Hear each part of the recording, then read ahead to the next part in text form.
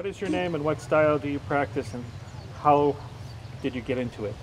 My name is David Ippen. I practice traditional Taekwondo. I've been practicing for 24 years now. And I got into traditional Taekwondo because my brother, one of my brothers, was friends with the local school owner at that time. And he introduced me to him and asked me to try out a class, and that's how that started. Okay. Tell me about your style, or what the name means, the history, uh, the teachers. Um, my style of Taekwondo, we call it traditional Taekwondo. It's derived from the style of Taekwondo that Grandmaster Kwon Jae-hwa introduced to Germany and Europe in 1965. He is the president of the Yeonmu Kwan Taekwondo Federation or in Korea, in Busan. And my lineage is sort of derived from there. Right now we're separate because the Kwon Jae-hwa Taekwondo system does, does no, uh, doesn't exist anymore. And uh, we just maintain the same style of Taekwondo that was introduced. It's basically the original Taekwondo that came over um, in 65 when they started introducing it to the world. What does the, the name Taekwondo mean? Taekwondo literally means the way of the hand and the foot. Te refers to all kicking techniques. It just it just means foot, but it means all kicking te techniques. Kwon means fist or hand and refers to all punching or striking techniques. And Do, like many other martial arts, stands for the spiritual path, the way, literally, um, to pursue martial arts. It ties in with the other Budo martial arts that all sort of share a similar philosophy. What is the strategy of Taekwondo? I would say the main strategy of Taekwondo is perfecting yourself spiritually, mentally, and physically, obviously. It's also the pursuit of perfection in terms of the skills you attain in the martial art. It's more conquering yourself, even though conquering is not the appropriate term because it, it says that you're battling yourself. You're working with yourself to become better. And through your power, through your attained power and um, enlightenment, so to speak, your own personal growth, you try to create more peace and harmony within yourself and your environment. Perfect. So tell me about the forms in your style. Where did they come from? And what are kata or forms good for? Um, the patterns in traditional Taekwondo are very important. They're a crucial part of our martial art. Um, we have we follow a system called the Changhon patterns. There are 24 that were developed by General Che, um, who introduced Taekwondo to Korea in 55, who actually founded Taekwondo uh, alongside other masters. And he created those patterns based on his knowledge of Shotokan karate that he brought back from Japan. Um, traditionally, we only used to practice 20 patterns, and then later in the late to uh, yeah in the late 60s, early 70s, he created four more to complete the system. Um, our system has 24, as I said before, which represent one complete day. So each form represents an hour in a person's day, which is symbolic for an entire lifespan of practicing Taekwondo. Um, our forms are very close in terms of the movements and the execution to uh, traditional Japanese styles. They all start and end at the same spot, which represents not only closure, but that's you know when you always end where you start. You finish what you do. Um, it also represents your entire life circle of that you come back to your origin after you finish what you do, and your achievement is sort of what you can produce in terms of technique during your form. Um, and I think forms are nowadays are undervalued. Um, forms are very important not only because they perpetuate the knowledge of our particular martial art, they include the technical variety that Taekwondo has to offer. They're also a means to, to train for yourself when you have no one else to train with. They're um, they help you recover after injury and they're you know great mental practice too because you can practice your forms without body movement at all you can just do it mentally by visualizing them and um, hyung as we call it patterns hyung is the korean word um, for patterns like kata and karate um, have multiple applications and multiple purposes obviously learning techniques is one of them that's just the basic the fun, fundamental aspect of why we practice forms um, it also was used as a means to practice your technique at full force and full speed. And if you look at a lot of the patterns, you have movements that you cannot practice on a partner safely. For example, like a finger strikes to the eyes or the throat without causing damage to your partner.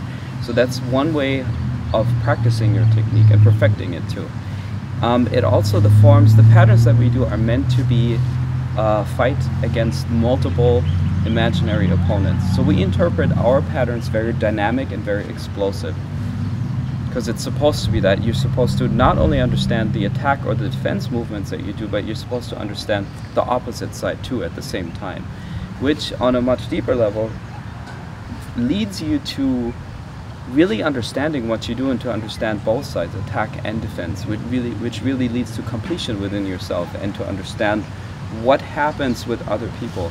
And it also generates a sense of respect towards not only other people but human life in general, if you know what this particular strike could do to another person, you know that you don't want to use it, only if you really have to. And for me, um, personally, and I think um, in generally in Taekwondo, forms are a means to perfect yourself and harmonize yourself too, because you can always get better at forms um, you can always practice them over and over again. And there's always that little extra that you can do. The stance can be a little bit better. The strike can be a little bit more to the left, more to the right, higher, lower. It can be a little bit better. You know, it's just, and then you know that life basically is constant refinement. It's all about perfecting yourself. It's all about striving to be better. And that's, for me, that's the core of martial arts. It's becoming as perfect as you can be, even if you can never attain this state but it's seeking that. And it's seeking it within yourself not to overcome another person but it's to overcome yourself your own limitations and to reach a state of close to perfection and mastery that you as much as you can despite the fact that you are human within your limitations. So you're basically conquering the limitations of what it means to be a human being. You're basically defying what it means to be human and you're trying to defy the confinements of life and the restrictions of your body in terms of getting something that is a little bit more. And that's what patterns mean to me. It's an expression of this, of this struggle. It's a very serious thing that you do. And I think a very worthwhile endeavor too. Tell me about the historical okay. side. Um, also in, in traditional Taekwondo, our patterns, they all are named after important events in Korean history after important people and their achievement and they all every form every pattern has a theme to it and certain strikes symbolize certain events or you know for example a left hand strike uh, would represent uh, at the end of the pattern represents the, the tragic death of somebody or so there, there's a symbolic component to what we do too and historic component so people learn about the history of the martial art that they do it's tied in um, and these, that's how the forms were in traditional Taekwondo. How they were meant to be like that. So the student not only learns the martial art, but they learn the history and the culture of the people who invented it, put it together, and that's a very important component as well. And then, um, in terms of what mistakes people make when they practice their forms, I would say a lot of people, a lot of students that I know, they, they're not aware of all the components um, that go into practicing patterns that are, you know, not just knowledge based in terms of technique or history or, you know, just the basic sequence of the movements. Um, they don't understand what it does for them, how what the benefits are for them, um, psychologically, mentally, and and uh, spiritually, and they don't take them seriously. It's a chore. It's something you do to pass a grade. It's something, you know, you have to do this in order to get your next belt rank, and every serious martial artist understands that belt does not belt rank does not matter at all at all. You know it's a piece of cotton you wear. You give your rank meaning. It's you know how you wear your rank. It's not something that you achieve put on the wall and say great. Um, so i think people don't understand how important patterns are not only to perpetuate traditional martial arts to keep the spirit alive but also to really work with themselves and to progress. I think a prime example for this is a lot of people who are into um, combative martial arts, especially these days, that focus only on striking and, and kicking and punching other people. When they get older, they don't have the ability to, to step in the ring anymore. What do they do now? And I've met people who have been doing um, martial, martial arts that focus primarily on, on um, hitting people in the ring for a long time. And they started doing traditional taekwondo when they're in their mid late 40s because they wanted to practice martial arts, but they couldn't do it anymore. There's no way they would step in the ring anymore and fight somebody who's 20 years younger than them. So they think they really start to appreciate the option of practicing martial techniques in a set pattern, in, in forms without contact. I think it's a very it's a very beneficial way of practicing it, and, and it also uh, gives people the option to practice martial arts their entire life, which not all martial arts can offer, quite frankly. And I think the traditional martial arts are a really good angle there because they're supposed to promote health, and they're supposed to be a lifelong um, task. And if you just hit a punching bag, that's not a lifelong task. That's not enough, in my opinion, to do that your entire life. That's always a part of the whole, but not the whole in itself. Um, and I also think patterns are less appealing to a lot of people because it is a structure and you have to master it. And I think a lot of people find it frustrating to master a, pattern because it takes time and it, especially in this society, in this stage and day and age, people like to attain things quickly.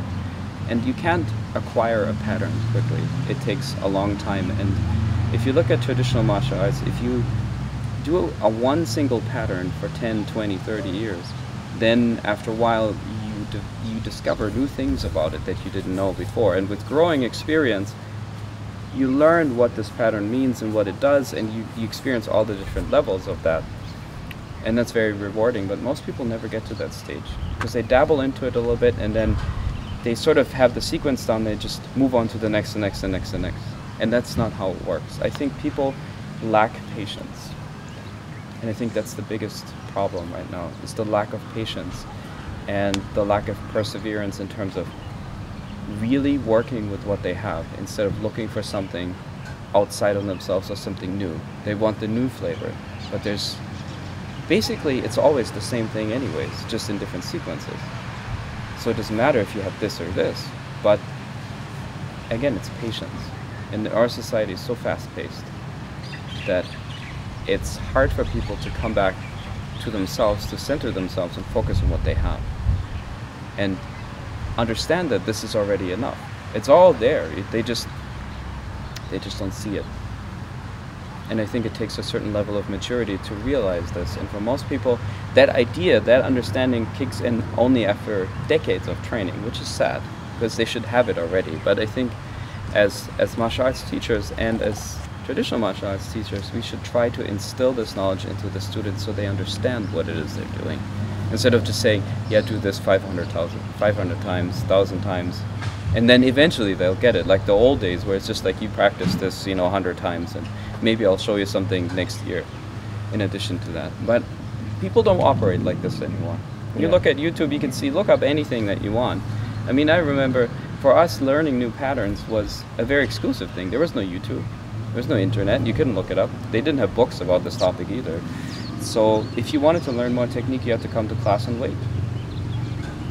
And that doesn't happen anymore today, which is sad because all people always go look for the new thing, the next, the next, the next, instead of working with what they have.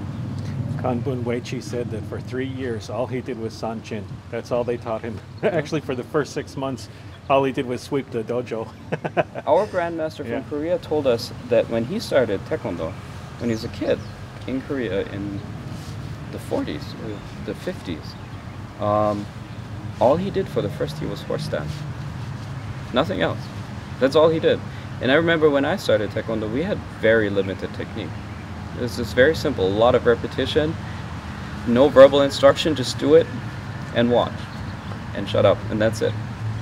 All the time. And then eventually you get to understand, and then you learn more and more and more, and then, oh, you then you start to get it.